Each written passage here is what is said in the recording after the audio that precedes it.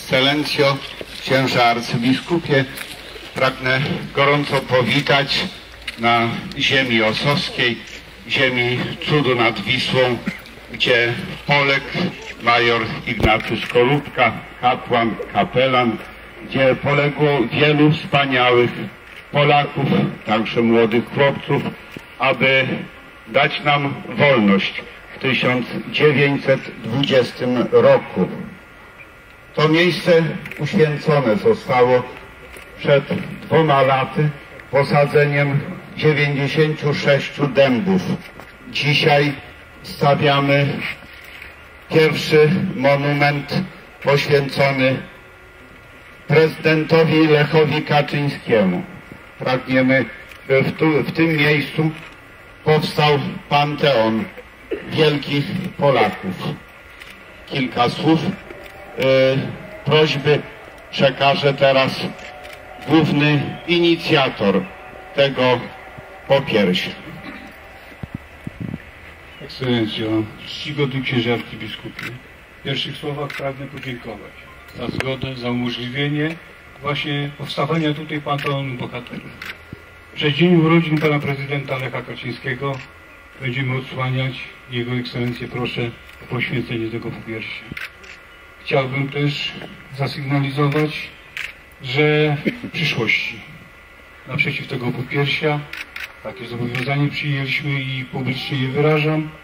Stanie po piersie biskupa polowego Wojska Polskiego, księdza biskupa Tadeusza Polskiego. Być może uda nam się 10 kwietnia przyszłego roku upamięcić prezydenta Kaczorowskiego.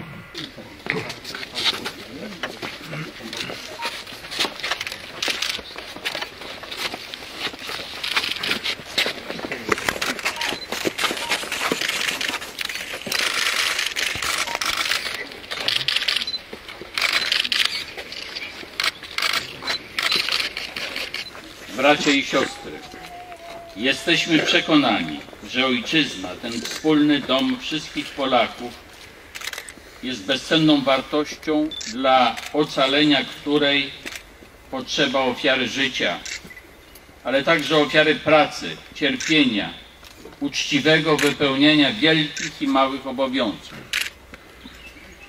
Tej umiejętności chcemy się uczyć od naszych ojców, braci i sióstr, którzy za tę wartość płacili najwyższą cenę. Dlatego pragniemy pobłogosławić ten pomnik upamiętniający prezydenta Rzeczypospolitej Lecha Kaczyńskiego, który zginął w katastrofie lotniczej pod Smoleńskiem.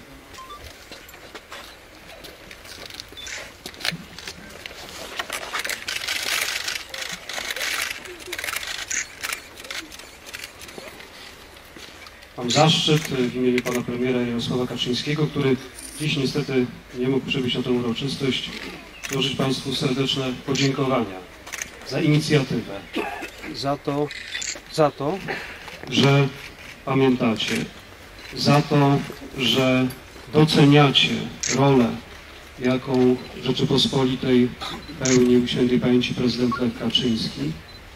Prezydent, który niewątpliwie przyjdzie do historii jako mąż stanu, jako człowiek, który stojąc na czele państwa polskiego potrafił skutecznie zadbać o to, żeby nasz kraj, żebyśmy my byli szanowani na arenie międzynarodowej, żeby umacniać pozycję Rzeczypospolitej, żeby również e, zasada, jedna z podstawowych, a więc zasada wolności była czymś rzeczywistym w naszym kraju, a nie tylko spisanym na papierze. Klubów Gazety Polskiej. Pan Jerzy Wojdak.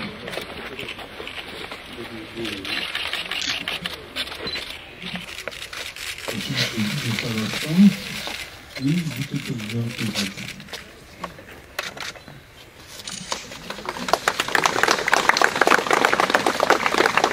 Rady.